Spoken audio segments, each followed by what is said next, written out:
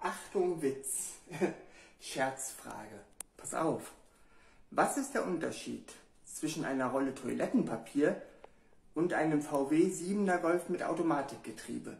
Na, na, na? Der Scherzantwort. Den 7er Golf mit Automatikgetriebe kann man auch gebraucht kaufen. und weißt du, was der Witz an dem Witz ist?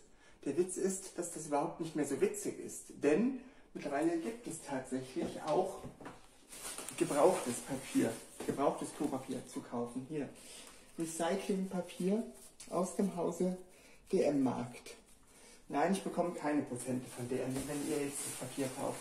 Das wollte ich euch nur mal gesagt haben. Ja, dann. Schönen Tag noch und immer fleißig abspülen.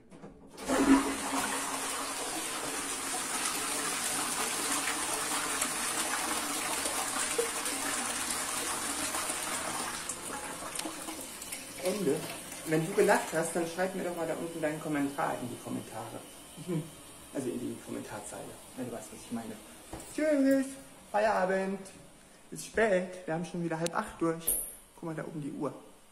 So, und tschüss.